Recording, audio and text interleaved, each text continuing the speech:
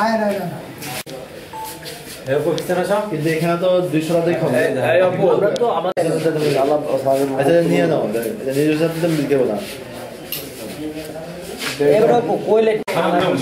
এই জায়গায়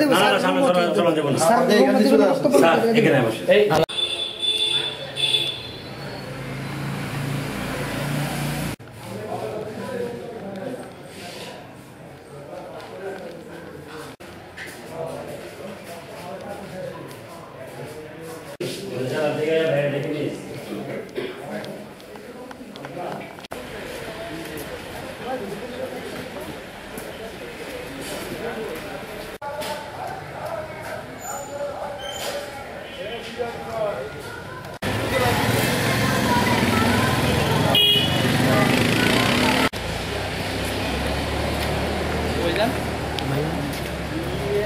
আজকে সন্ধ্যার দিকে গোয়েন্দা তথ্যের ভিত্তিতে আমরা জানতে পারলাম যে সাবেক মেম্বার কামাল তার বাড়িতে দেশীয় অস্ত্র জড়ো করেছে, যে কোনো মুহূর্তে একটা সংঘর্ষ ঘটতে পারে।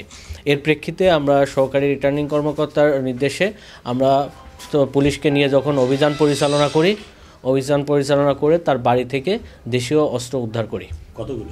আমরা সব মিলে লা- দেশীয় যে অস্ত্র বলতে আপনার টেটা বল্লম এবং লাঠি সহ সব মিলে প্রায় দুইশো মতো অস্ত্র আমরা উদ্ধার করতে দুইশো টেটা দেশীয় বল্লভ সহ জব্দ করে এই ব্যাপারে আইনগত ব্যবস্থা নেওয়া হচ্ছে।